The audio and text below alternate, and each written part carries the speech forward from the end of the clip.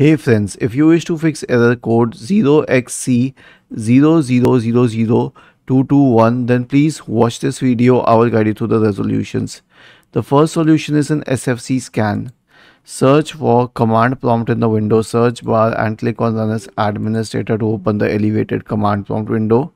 Type the command sfc space forward slash scan now and hit enter to invoke the sfc scan. The next solution is a check disk scan.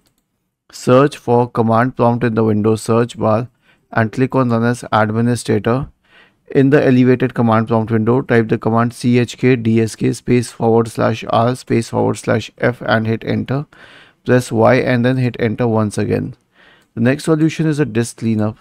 Search for disk cleanup in the Windows search bar and open disk cleanup. Click on OK.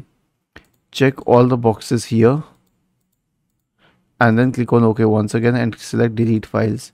The last solution is a Windows memory diagnostic tool. So uh, press the Windows key and the R button together to open the run window. Type the command mdsched and hit enter to open the Windows memory diagnostic tool.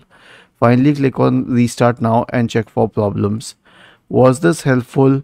If yes, then please subscribe to the channel and if not, then let us know in the comment section of the video on how we could help you further. Thank you for watching this video and have a nice day.